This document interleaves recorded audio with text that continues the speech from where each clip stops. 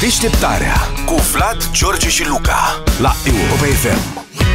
Pentru o sugestie pentru că tot se apropie zile de astea cu cadouri, cu nu știu ce, pentru angajații pupini șefiști Așa. care vor să facă o surpriză plăcută șefului. Încă o surpriză plăcută șefului. S-a inventat scaunul de birou cu motor electric, încălzire, camere de marșarier, faruri LED, lumini de zi tip automate, senzor de parcare și claxon. Claxon pentru ce? Pentru angajat să se dea la o parte. Să se dea, când trece șeful prin birou, știi? Uh, Chiar e făcut de un producător auto. De zici Serios? că e mașina Volkswagen.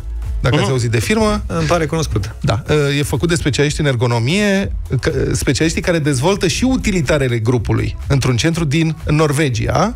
Super scaunul de birou cu motor Volkswagen poate atinge o viteză de 20 de km pe oră și pupin șefiștii se pot lăsa călcați la 20 de km pe oră. Are autonomie de 12 km. Ei nu se deplasează prea departe. Șeful, calcă-mă pe mine, te rog, calcă-mă pe mine puțin, hai.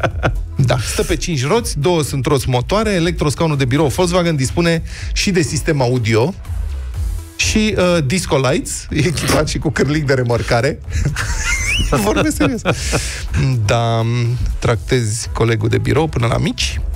Pe mânerul din stânga există un ecran tactil pentru accesarea diferitelor funcții și un spațiu mic de stocare suficient de mare pentru un laptop, precum un port USB. Siguranța e pe primul loc, motiv pentru care scaunul echipat este echipat și cu centură de siguranță. Asta este ce vă imaginați? Bă, mi-ar plăcea unul de ăsta. Zău!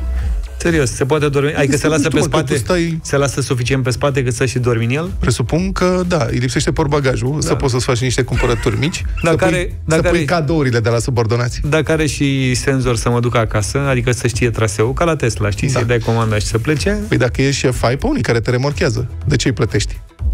asta e, îmi lipsește asta cu șeful. În rest, cred că mi s-ar potrivi. Da. Deșteptarea cu Vlad, George și Luca la Europa FM.